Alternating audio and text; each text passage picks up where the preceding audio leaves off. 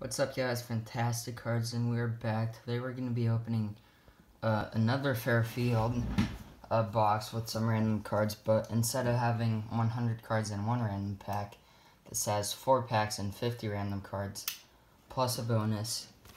So, I got this at Target, and I've lately I've been opening lots of like random pack cards, just to see if I could pull any good rookies.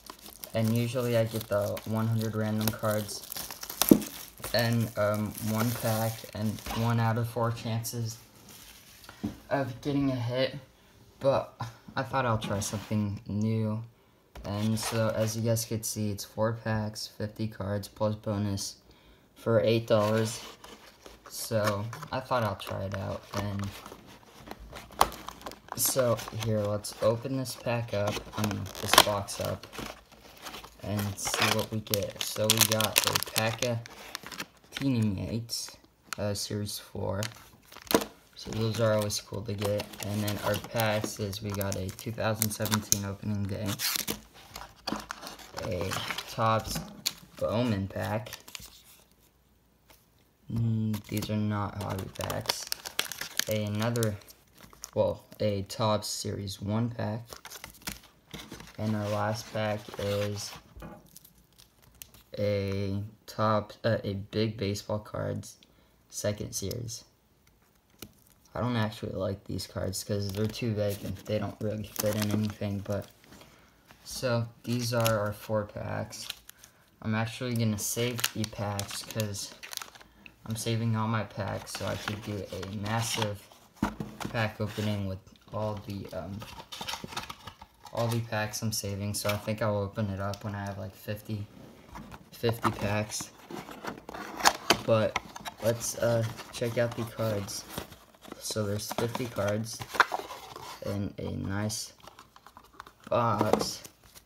So I'm actually going to flip these all around and put them in the right order and then I'll show you guys what okay, we got. So I put all the cards in the right order and these are the cards we got. So uh, we have some Donruss 1992. mostly looking for Topps uh, uh, cards so I could complete some of my set. Some 1990 Topps. Um, nothing special in there. Some 87 Topps. Um, some more 87 Topps. Some, I don't know what that, what year that is. I think it's like 2000. Some 1990 Topps.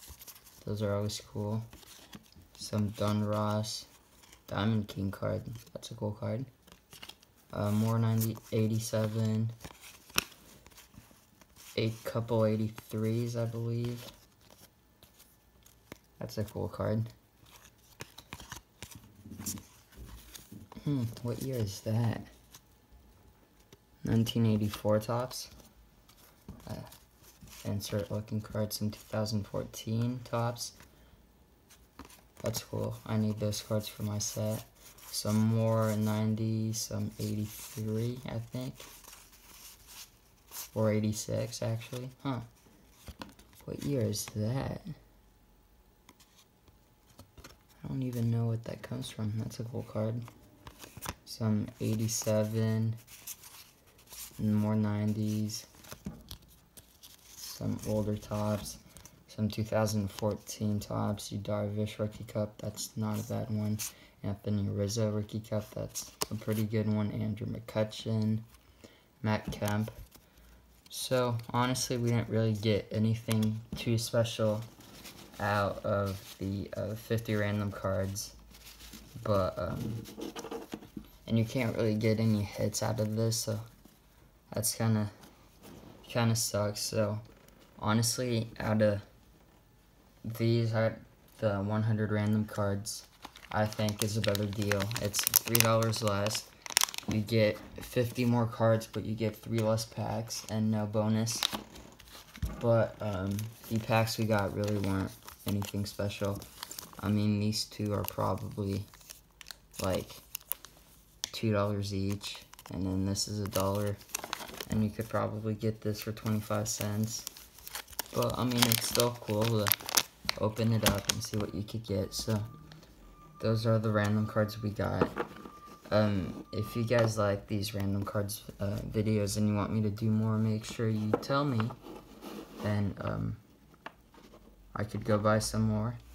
And make sure you guys go follow me on Instagram at Fantastic Cards for uh, giveaways and group breaks. And see you guys soon.